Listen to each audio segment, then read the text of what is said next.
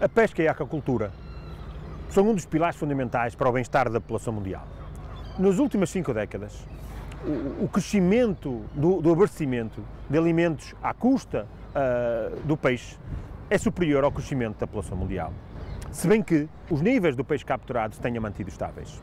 Hoje é, é fundamental para para o mundo a, a, proteína animal que advém do, do peixe e os, seus, e os seus derivados. Consequentemente, a pesca é uma das atividades económicas mais importantes no mundo.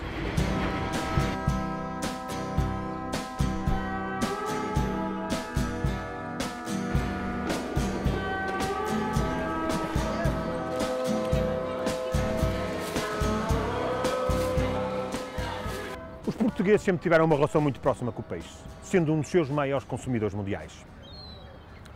É fundamental, pois, para preservarmos este ativo tão importante, conhecermos muito bem o mar e as suas espécies. Hoje vamos poder aprofundar o conhecimento sobre duas espécies muito queridas de portugueses que se capturam aqui no Atlântico Norte: a sardinha e o bacalhau. O bacalhau é um peixe ósseo e redondo, como a pescada, ao contrário de peixes planos como a solha ou o linguado, que habita as águas frias do Atlântico Norte.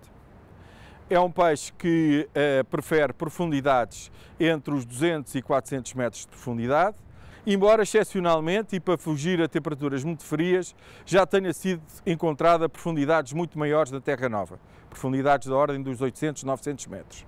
A sardinha é capturada com arte de cerco. A pesca do cerco é uma pesca muito importante em Portugal e as capturas de sardinha uh, representam cerca de metade do total de pescado desembarcado no continente em Portugal. É de vital importância a manutenção da saúde do, dos estoques destas duas espécies. Por vezes, somos alertados por dificuldades na gestão dos mesmos ou mesmo a proibição da sua captura. A avaliação científica da sardinha mostra que nos últimos 35 anos a abundância de sardinha tem tido grandes flutuações. Houve períodos no, em meados dos anos 80 e no início dos anos 90 de grande abundância. Nessas alturas, as, as capturas portuguesas de sardinha atingiram 100 mil toneladas. Uh, mas desde final dos anos 90 que uh, a abundância de sardinha tem vindo a diminuir e, sobretudo, desde 2008 essa diminuição tem sido muito acentuada. Pelo facto da sardinha uh, estar numa situação de muito baixa abundância, têm sido implementadas medidas de gestão severas, nomeadamente limitações à captura e períodos de paragem da pesca. E, por exemplo, em 2014, o limite de capturas de sardinha para Portugal e Espanha foi de 20 mil toneladas, o que é um valor extremamente baixo a comparar com o histórico. Os estoques de bacalhau do Noroeste Atlântico entram em declínio praticamente ao mesmo tempo. Estes estoques, que suportaram uma pescaria de mais de 5 séculos, em menos de 10 anos, entre a segunda metade dos anos 80 e o princípio dos anos 90, chegam a mínimos históricos e todas estas pescarias fecham. Se podemos dizer que a principal causa foi de facto a sobrepesca, ela não foi de todo a única causa.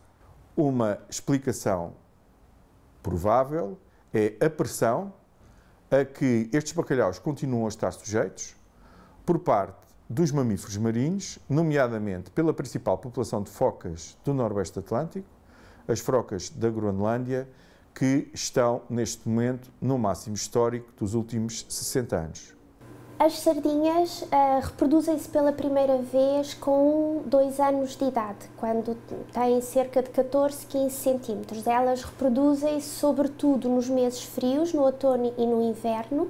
Uma fêmea, numa dessas, uh, dessas vezes em que desovam, pode eh, produzir e emitir uns 20 mil ovos, o que quer dizer que um único indivíduo pode estar na origem de 300 ou de 400 uh, mil ovos. Em contrapartida, durante os meses de verão, as sardinhas não se reproduzem, a maior parte delas não se reproduz.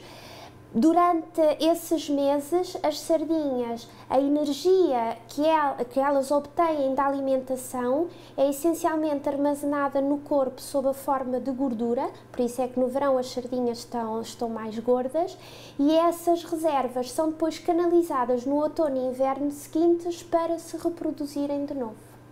As sardinhas põem ovos livres na coluna d'água, são ovos que têm aproximadamente um milímetro e meio e, dependendo da temperatura, duram aproximadamente 4 dias, esta fase de ovo.